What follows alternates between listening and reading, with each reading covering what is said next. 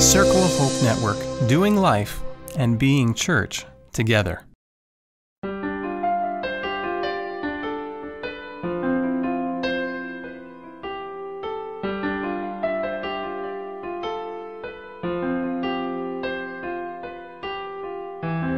Thank you for having me. Um, I'm glad there's snow here.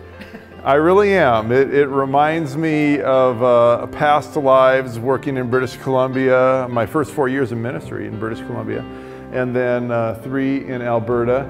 And it was, uh, I, will confess to you, I, I, wasn't ready for Alberta. Uh, British Columbia has the, the, the wet snow every once in a while, you know, on the coast and everything. And um, I wasn't ready for Alberta. It got to the point where, like two weeks out of the year, I would walk out of my house and I'd just be angry. the, the, the 40 below would hit me, and I'd just be angry. And I would think, people have been living here for who knows how many hundreds of years, and they just they, they stay living here and and and i'm angry why am i so angry and and i talked to my wife about it and and and, and she said well it's just it's just too cold and and but, you know we got over it and i learned to dress for the for the occasion and i would walk to to the office and everything every time i'd have to get out of the house and it, it turned out that we really enjoyed it so yeah i'm glad to be here in saskatchewan i wanted to talk to you uh, tonight a little bit about uh, what saves you if I could. So let's start with the word of prayer. Father in heaven, uh, you're good, so much better than we deserve. And um, you love us uh, for who we are, and sometimes in spite of who we are. And uh, your saving grace is more powerful than sometimes we even give you credit for it to be. So tonight, help us to realize some things about your good, good character. In Jesus' name, amen. So I was uh, driving in Santa Rosa, California, which is just about 45 minutes from where I live, and and it's uh, where I live is all forested, and and uh, um, there's just nothing there except for the college, really, and that's it. And we're up on this hill, and there's 2,500 people that live there, and and it's kind of secluded. If I wanted to go to like a fast food restaurant, I'd have to drive 40 minutes, 45 minutes to get to one. So we're kind of out there a little bit, and I had some business to do. And uh, I was actually, I got a gift certificate to this men's suit shop, and I was going to go buy, the only thing you can afford there for $50 is socks. So I was going to buy some socks. And, uh, and so I didn't quite know where it was. And so I pulled off of an exit and I got my phone out and I was asking the little lady in my phone where this place was.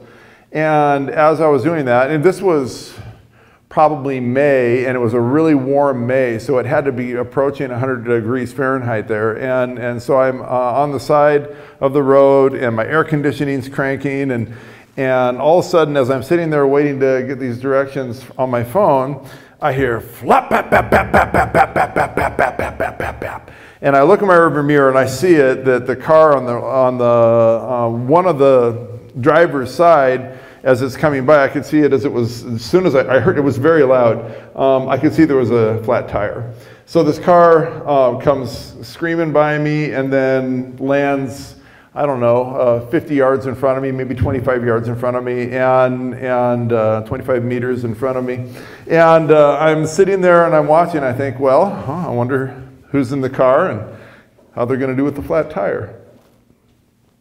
And I'm sitting in my car, air conditioning's feeling very good, and uh, I see two young ladies get out of the car. And uh, um, one of them is, uh, uh has uh, like a, a, thin t-shirt, a tank top kind of a thing on, and, and, and shorts, and, and uh, she's uh, she looks like she's been around the world a few times. And and uh, the other girl was younger. She looked to be 14 or 15 years old and I see them come around to the back of the car and they open the trunk up and it's filled, just packed with clothing. So they start taking clothes out and putting them on the pavement right there on the, on the side of the car. And they finally get all the clothes out. And there was a mountain of them that they had shoved in there and they get the jack out and i see them standing there and looking at each other and they're looking at this jack and they're shrugging their shoulders and, and i thought okay i need to man up and get out of my air conditioned car and go and help them change this tire. And, and so I pulled up behind them and, and got out of my car. And I said, Hello, ladies, uh, is there anything I can do to help you? And uh, the 14 year old girl turns around, she looks up at me and goes, Yeah, no, we don't need your help. I said, Oh, um, okay. And the older lady that, again, looked like, like she'd had experience in life, I'll just leave that description there. Um, she looked at me and, and, and she said, We could really use your help.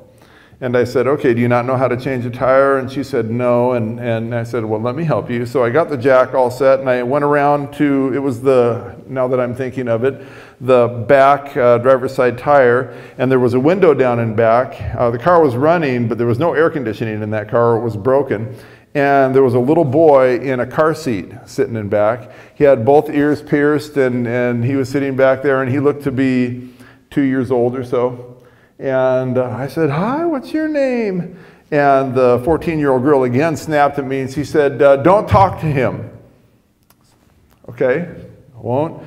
And then the older lady said, His name's Jamal. I said, Hi, Jamal. And Jamal gave me kind of a grin, but he was all sweaty. It was very warm. And so I thought I better get this thing changed so they can get into some air conditioning. So I got the car, uh, got the, the lug nuts loose, jacked it up, and and uh, got the tire off. I said, okay, where's your spare? And, and we ran around behind and I got her spare. And I looked at the spare tire and the spare tire needed a spare tire. It was, it was bald, there was some belt showing, but it was holding air. But I'm pretty sure um, within five miles the thing would just go, you know. And, and so I said, This is it? This is what you got? And she goes, uh, Yeah, that's, that's all I can afford. I said, okay, all right. And, and so I put it on there, and, and it was a full size spare. And uh, so I looked at her other tires, and they were just in really, really bad shape. And uh, I said, Well, you need to get a spare tire right away for the one that just broke. Uh, and you got to do that now. And she goes, Okay, well, I think I know somebody. I said, Okay. And uh, I said, Can I follow you? to where this place is. And she said, Well, yeah, yeah, okay, you can follow me. I said, I just don't want you to get another, and then, you know, you're going to be in a world of hurt. So then I, I, would feel more comfortable if I could follow you. You can follow me. Okay, 14 year old girl just eyeing me. So they get in the car, and I, and, and I follow them into a, a part of town that I had never personally been before. And, uh, and down this alley uh, between these uh, stores, uh, down this dirt road alley, and there's this big, like, old shed, kind of a barn looking thing with tires piled all over the place. And this old guy comes limping out, and she starts talking to him, and then they start arguing. I could see with their body language, and I put my window down so I could hear. And he's trying to charge her 60 bucks for this ratty old used tire. And I'm sitting there thinking, oh, you know, this, this is not right. And, and, so I get out of the car and I start walking toward him, and he looks at me and, who dat? he says. and I said, hey, uh, I, I, was just somebody that saw her get the flat tire. I want to make sure that she gets a good tire. And he starts yelling at me, why don't you get out of here? I'm doing business and everything. And, and I'm looking at her tires. I'm looking at what she's trying to buy for 60 bucks, which she clearly doesn't have. And, and I'm thinking, whoa.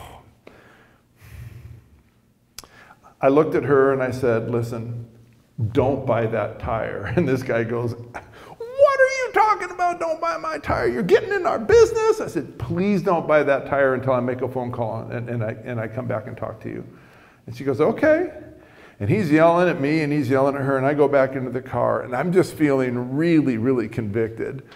And uh, I also am feeling like my bank account isn't feeling convicted because I just, you know, make a lot of money. And, and so uh, I got on my phone and, and I called my wife and I said, listen, and I told her the situation. I said, I really feel like Jesus is telling you and me to buy this lady a set of tires. And my wife said, Are you feeling like the Holy Spirit's just telling you that? And I said, I really do. I feel really like the Holy Spirit wants me. And she said, Is the Holy Spirit reminding you of what's in our bank account? I, I said, Yes, Holy Spirit has also reminded me of that. But Holy Spirit also reminded me that we have three credit cards and there's not a cent owing on any of them. And, and we don't like using credit, and, but we own the cards. And, and I said, I, I feel like, you know, we can pay it off in, in, in two or three months. And uh, she said, You know what? Do what Holy Spirit says to do. So I get out of the car and, and I start, you know, they're finagling again. And I said, Don't buy that tire. Don't buy that tire. And, and, and he, I'm, I was much bigger than him. And, uh, and, and I'm not an aggressive person, but I walked up close and, and, and said, You know, back off. And I said, Listen, would you trust me? And she looked up at me and she looked over at the car, and the 14 year old girl's going, and I said, Would you just trust me? And she said, uh, Yeah, mister, I'll trust you. I said, Follow me. Get in your car and follow me. We went about three miles and we pulled into a, uh, it's called America's Tire. It's a discount tire place, but it has the same tires as everybody else. They just have the word discount, and they all cost the same too. Anyway, it's at a discount, I guess, because it says so. So we pull in, and uh, I get out of the car, and I said, Could you wait in the car here for me for a minute? And she said, Okay, mister, I'll wait in the car. And I walked in and uh, the, asked for the manager, and, and I said, Listen, we've got a situation here. And the situation is this, and I pointed out at the car, and it's a ratty looking car, but it seemed like it was running okay, just have tires. I said, How much for a set of tires for that car? And he gets on his computer. He said, I get you a good set of tires for 800 bucks. I said, uh, Okay, uh, is there anything less than good that would be new that we could? well, no, 800 bucks is actually our cheapest. And I said, okay, listen, um, what's the next one up? And it was like $940 or something like that. And uh, I said, would you consider a discount for what's going on here? And he looks at me and, and he says, no. I, I, won't consider a discount. If you want to buy the tires, you can buy the tires. I'm like, ah, okay. Um, so I said, let's make it happen. So they get the, uh, start getting their end going, and I walk out and I ask her to come in with me. And she comes in, and, and I said, Listen, it's air conditioned in there. I said, I need you to know something. Um, I need you to know that Jesus told me to buy you a new set of tires for your car. She goes, You mean a spare? I said, No, not a spare, a new set of tires. And she looks at me and she steps back and she said, why, why are you doing this? And I said, Because I think Jesus wants me to. I said, Believe me, I can't afford it. I think Jesus wants me to. And she looks at me and she goes, What you want? I said, Nothing. And she said, Why are you doing this? I said, I just kept saying it because Jesus wants me to. And then all of a sudden, she kind of realizes that this is actually going to happen. And she starts to weep. And she starts to yell happy noises. And she runs across the little lobby thing where the, everybody was standing. And she runs and she jumps with her arms and legs out and wraps her arms around my neck and her legs around my torso. This was the most uncomfortable hug I have ever had in my whole life. And she's just screaming, Thank you, thank you, thank you. Oh, thank you. Uh, the little girl comes running in. What's going on? She sees this going on, you know. He's buying us tires. And then she softened up. Thank you, mister. Why are you doing it? Because Jesus told me to. Got her tires uh, while we were sitting there and waiting. Uh, told me that she just got a job at a Safeway store deli, a grocery store deli, and that she was hoping to get enough money so that they didn't have to live in their car and keep their laundry in the trunk anymore. And, uh, and, and so uh, I said, when's payday? And she goes, it's actually coming up. I think, I think I can even get an advance. And I think today we can get a place. We've got a place we were going to go look at. That's where we're on our way to and, and everything. I said, well, praise the Lord for that, that you got a place to live for you and your, your little boy. What happened there is the biblical definition of justice. Now, most people think that justice is when you get what you deserve, right? But according to the Bible, that's not justice. In, in the Old Testament, especially, justice is when you make a wrong thing right. Justice is when you see poverty and you alleviate the poverty. Justice is when you see somebody sick and you help make them well. Justice is, see, is when you see something is going wrong in the world and your influence makes it right.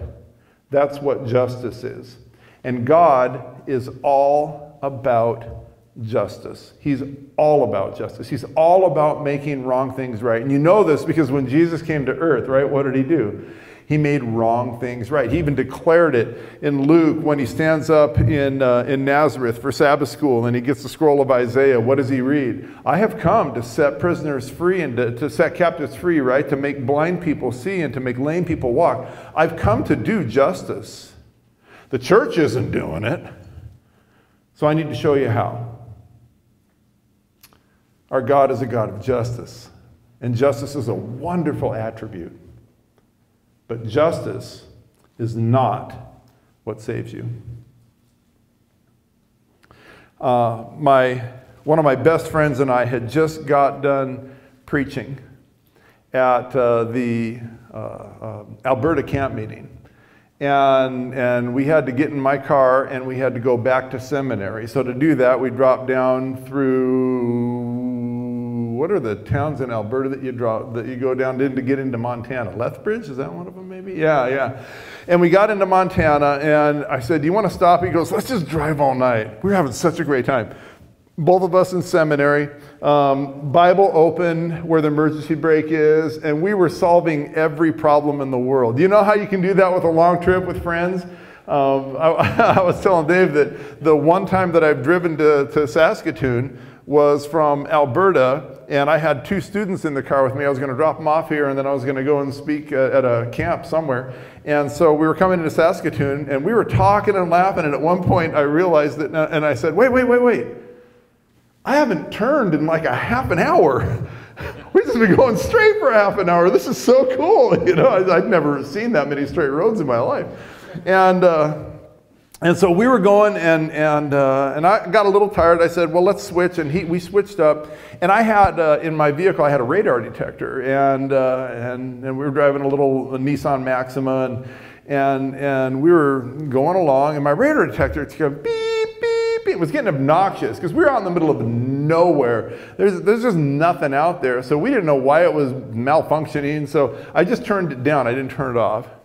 And we're going along and, and, and, and we're just flying down the road and we're talking and we're solving political issues in the United States. We're, we're, we, we've got, we've got um, all the biblical uh, mysteries of the world are all figured out. It's just great. We're having a great time when all of a sudden we see in the reflection of the mirrors those terrifying blue and red lights and I look in the rearview mirror and I see it's a policeman. I look at the radar detector, it's pegged on red. And I look at the speedometer, and Alex is driving. By the way, Alex Bryan is the uh, senior pastor at Walla Walla College Church, Walla Walla University Church now.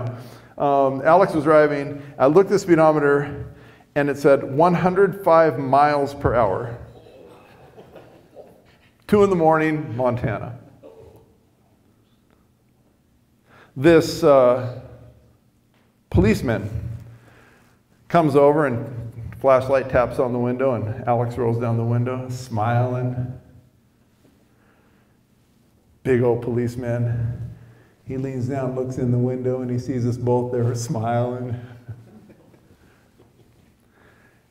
Where are you boys going in such a hurry?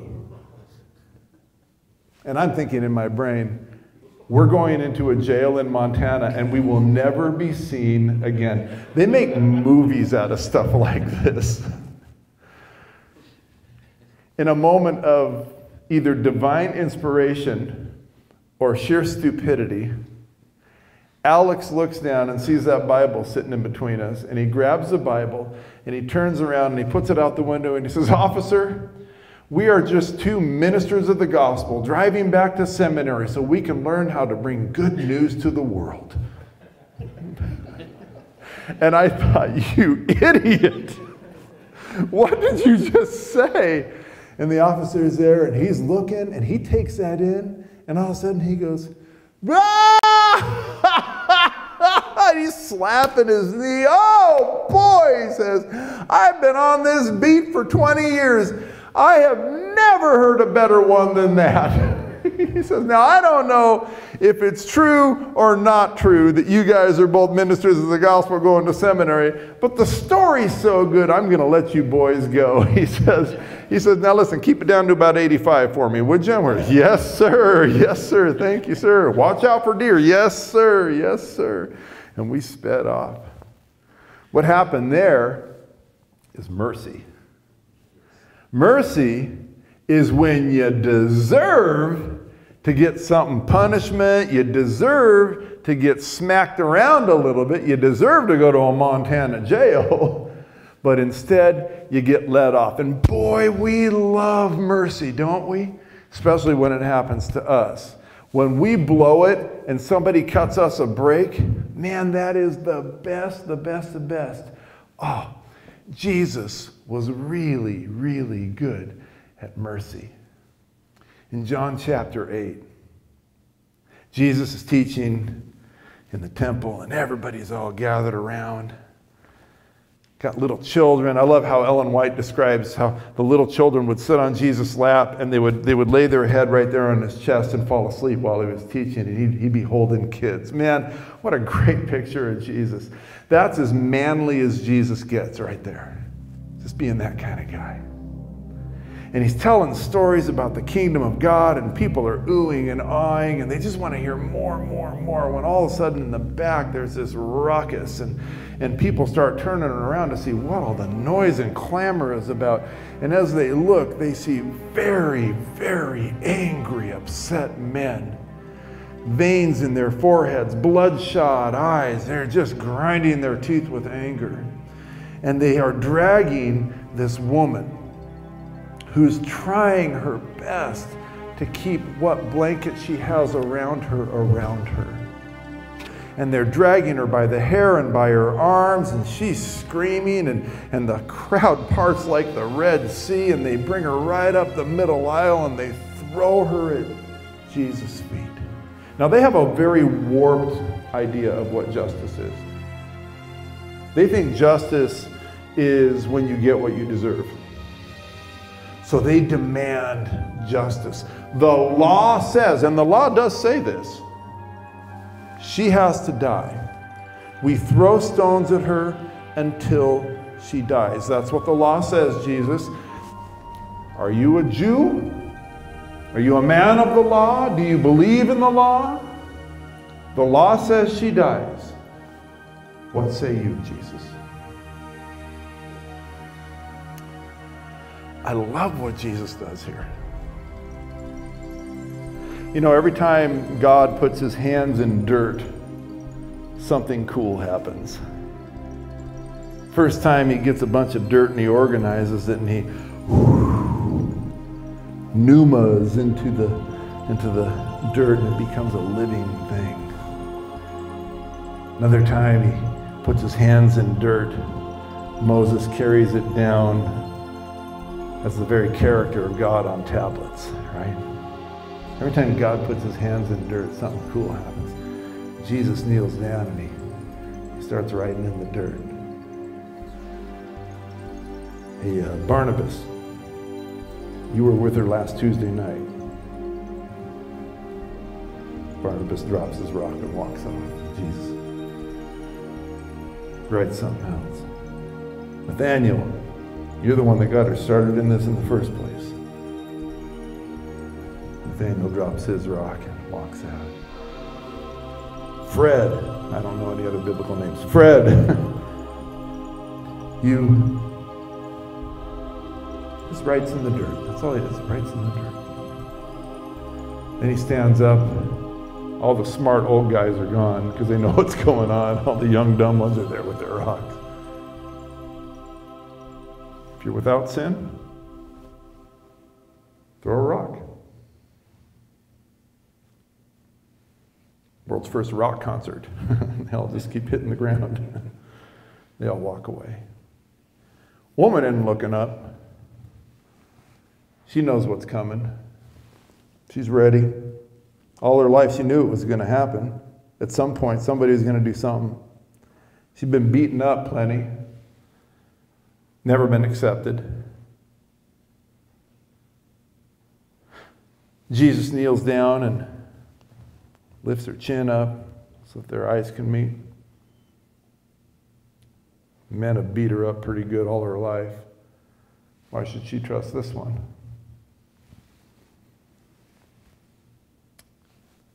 Your accusers are gone. I'm not going to accuse you of anything. I'm not going to condemn you. Now, you can't be a prostitute anymore. People think go and sin no more is that Jesus was telling her to go and be sinless. Have you ever tried to be sinless?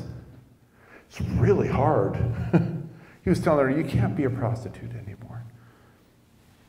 Some people think, we don't know for sure, but some people think that this woman could have been named Mary, who lived just over the hill in Bethany. Just not very far away.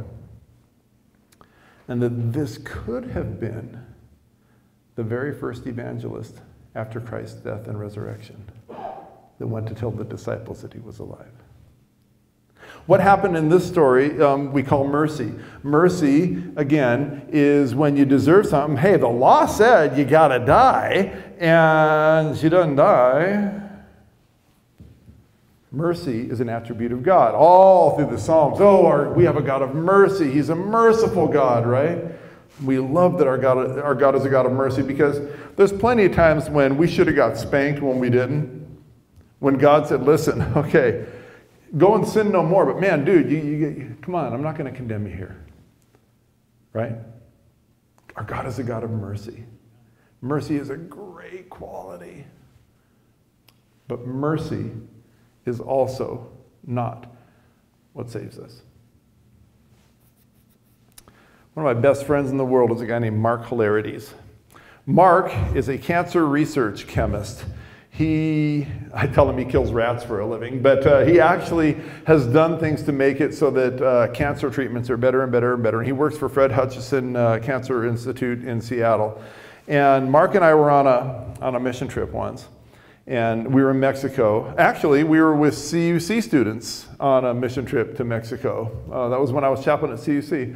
And uh, we were down there, and, and it was freezing cold. We were up in the mountains. You think Mexico, you're going to be you know, doing mission work and tanning, um, but it was just freezing. There was snow on the ground and everything. So we're sitting around the fire, and I'm sitting next to Mark, and I said, Mark, how'd you become a Christian?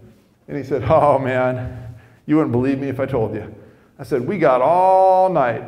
Tell me, how'd you become a Christian? He said, Okay.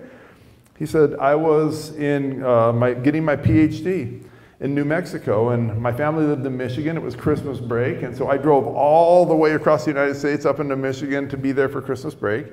And on Christmas Eve, instead of being with my family, I chose to go out to a bar and be drinking with my friends. I said, okay. I said, I didn't know you drank. And he goes, well, I used to. I said, okay. I said, you don't anymore, right? He goes, no, no, no. I said, okay, so, so tell me what happened. He says, well, we just got, all of us got way drunk. Oh, we just got wasted. And he said, we were just, we were just to the point where, where somebody was going to have to drag us out of there. And the guy behind the counter said, listen, you guys, I want to go home to my family. It's Christmas Eve. Get out of here. And he chased us all out. So we're all staggering to our cars, and he says, I staggered to my car. He says, I know I must have dropped my keys three times, and I picked them up, and it was cold up there in, in, in uh, northern Michigan. And, and, and he finally got into his car, got it started, and, and pulled back, and then put it in drive. And he went to the curb and he looked both ways, see if anybody was coming. Nobody coming. He pulls out to go left across the road, and gets T boned by a brand spanking new Lincoln Continental. T bones him. Smash. Uh, Mark, being the drunk guy, doesn't get hurt. happens sometimes. And uh, he gets out of his car and he's confused and he's dazed and there's, there's smoke and, and lights kind of weird and, and everything. And his friends came, they got out of their cars and they come running over and the guy from the Continental gets out and he's got a split lip and blood is gushing down his chin. And he runs over and goes, Are you okay? Are you okay? And Mark's like, Yeah, okay. And the guy says, Oh, no. He says, You're drunk. Yeah, I've, I've been drinking well, let's, let's push this car off the road before somebody, and so they push both cars into the parking lot. And it's even in Mark's drunken state, he starts to realize the deep weeds that he's in. And he starts to get uh, uh, drunk emotional. I don't know if you've been around enough drunk people to know what drunk emotional is, but he got drunk emotional and, oh no, what's going to happen to me? And he calls his dad, and his dad is just angry. His dad is just ticked. How dare you ruin our Christmas like this? How dare you ruin your education like this?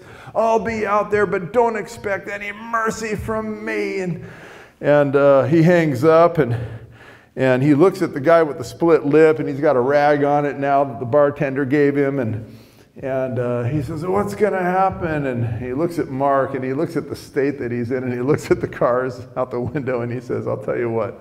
I'm not going to call the police. Oh, thank you so much, man. Thank you so much. And, and uh, it's funny, in, in, retrospect, Mark says, yeah, you probably should have called the police. But uh, he says, I'm not going to call the police. He says, it looks like you're already in enough trouble. Mark's dad shows up and he is just angry. He's yelling and screaming at Mark. And then he turns to the guy and he says, I am so sorry for my idiot son who pulled out in front, you know, that kind of a dad. And, and it was true. Mark was an idiot son at the time. And uh, so, so, so uh, they exchange information, and the guy says, Listen, I'm going to call you the day after Christmas if I can, and, and, and, and then we'll get together and we'll make things right. Brand new Lincoln Continental, making things right was going to mean that Mark was going to just have to work for a few years and not get his PhD. That's just what it meant. So, Christmas happens. Everybody in Mark's family is so angry at him, he gets zero Christmas presents. they don't give him anything, you know. You deserve what you get, and you get nothing. And, and uh, so they're all opening presents, and he's sitting in the corner all hungover and, and, and knowing that he's just blown his whole career and, and uh, lucky that he's not in jail. Day after Christmas, they get a phone call right around lunchtime, just before lunch. Hey, uh, um, give them address in Holland, Michigan. Can you, can you come to Holland, uh, Michigan, and, and uh, can you find this address? This is before the days you could just tell the little lady in your phone what you know to do. And, and, and uh, so, uh, yeah, yeah, we know where that is, we think. Well, we can find it. So they get in the car. Well, we're probably going to this guy's house, and he's probably going to give us a bill for whatever new Lincoln Continental costs. They pull to the address. And it's not a guy's house, it's a car dealership. Mark and his dad get out and go, He's going to make us buy him a new car today. This is crazy. I can't afford to do this. And he looks around and he sees this guy stitched up on his lips now, gruesome, standing in front of the same model of car that Mark was driving only two years newer, with way less miles, and in really good shape. Mark looks at this and he walks toward the guy and he goes, What are you doing? And the guy has some papers in his hands and he says, uh, Listen, uh, I bought you this car. Merry Christmas. And Mark, like all of us do with grace, goes, Whoa, whoa, whoa, whoa, whoa, whoa. You can't just give me that. And the guy goes, Why? Because I'm the drunk guy. I'm the idiot that pulled in front of you. I'm the guy that blew it and screwed up. You didn't do anything. I don't deserve that.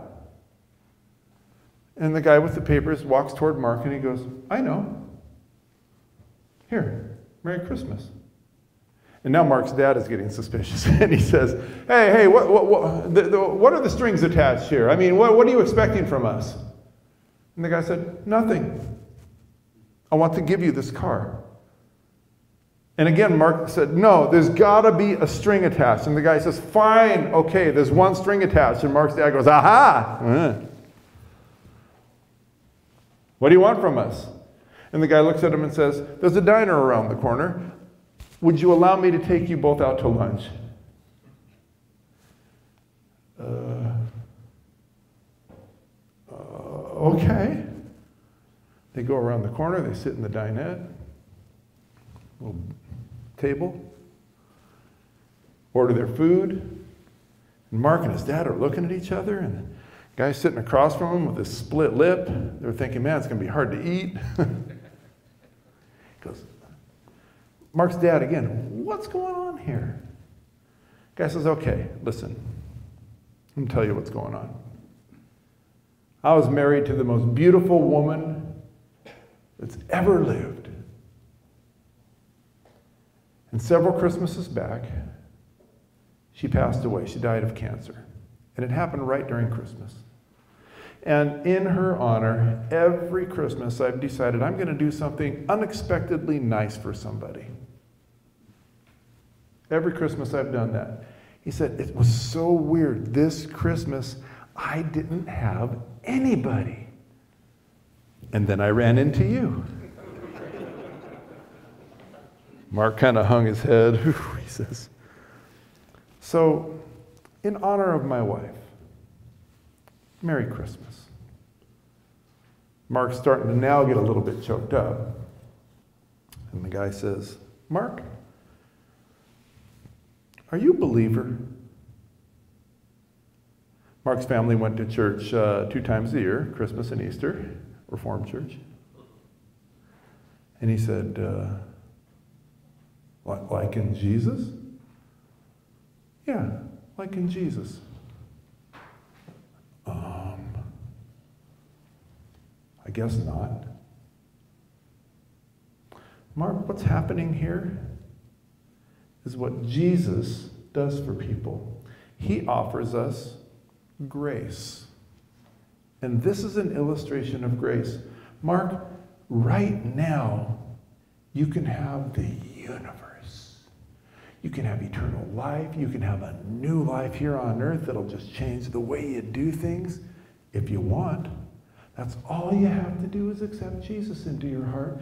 Give him all your garbage, and he'll give you a crown. Mark, would you like to be a follower of Jesus? And Mark's dad answers and goes, Yeah, we want that. we want that. And Mark says, Yeah, I, I want that. I, I want that. Guy reaches his hands across the table. He says, Can I hold you guys' hand and lead you in a prayer? Yeah. They reached across the table and they all grabbed hands, and this man led Mark and his dad in a prayer that dedicated their lives to Jesus, asked forgiveness for their sins, and asked for a new life here on this earth before they get to the next one. Amen, amen, amen. Guy said, Listen, I'm going to check up on you guys. I want you to get into a church. And this wasn't an Adventist church, it was. A, he says, But there's several churches around here. I'll give you a list if you want. Well, we have a pretty good church. And they had a decent church, they just never went. Mark started going to church, gave his heart to Christ, and later on the line uh, came an Adventist, and I got to meet him and, and be his really good friend. Justice is great, and that's a great attribute of God, and I'm glad our God is a God of justice.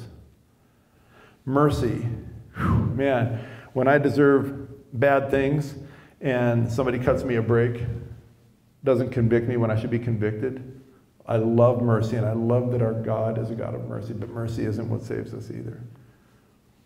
In Ephesians 2, it says, For it is by grace that you have been saved not by your own works, lest any man boast. It's been grace that has saved you. Grace is when we give God all of our ugliness and He exchanges it for a crown. Because even the best we have to offer, the Bible says, is filthy rags. And I'm not going to go into the whole description of what that means in the Hebrew, filthy rags, but it's really filthy. The best we have to offer, the best we have to offer is filthy rags. And God takes our filthy rags and He takes our ugliness too, and, and He gives us a crown. That's grace. Undeserved, unmerited. He offers it to us. In fact, in Ephesians 1, it says, He chooses us to be on His team before the foundation of the world born in His good graces and in His embrace. And it's only when we say, I want my junk back and you leave me alone, that we forfeit that. That's what grace is. And it's offered to us in abundance. And when we accept it and live in that grace, we are more manly than any other thing that we can do. Grace is what saves us.